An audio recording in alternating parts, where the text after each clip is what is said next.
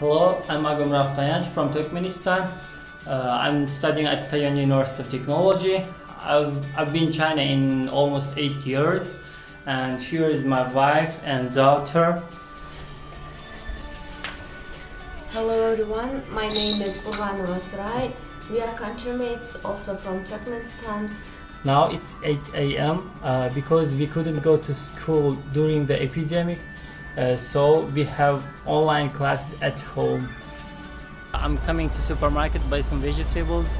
Uh, usually we cook at home. During the coronavirus epidemic, uh, cost of foods uh, has not changed. And now I'm coming to this market uh, buy some foods.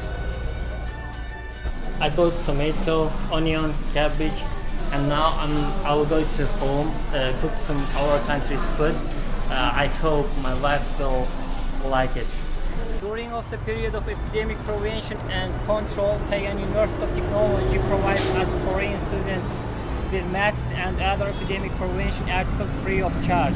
My wife and I actively cooperate with uh, the board arrangement of the School of International Educa Education and Exchange of Taiyuan University of Technology. We take online classes on time and communicate with teachers through online video. Uh, in this in July this year, I graduated successfully and obtained master's degree in mechanical engineering from Taiyuan University of Technology. I intend to do business in the future. Mainly, I engaged in trade between Turkmenistan and China and sell Chinese goods to my motherland. Thank you.